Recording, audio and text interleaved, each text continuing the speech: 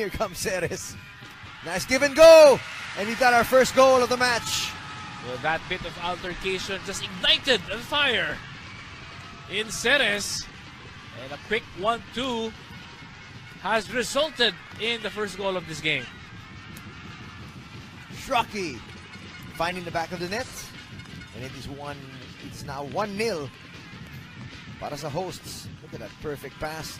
No question he was onside. And he definitely knows what to do in that situation. None given. And it's a breakaway for Stephan Schröck. Schröck. Trying to find Ramsay.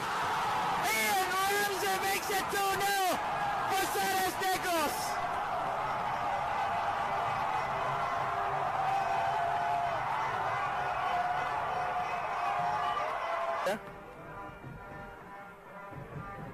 Raicho.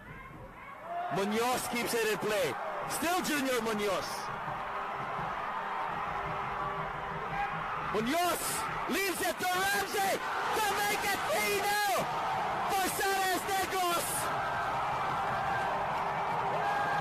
Amazing scenes here at Panaad as the busmen take a three-goal lead 28 minutes in.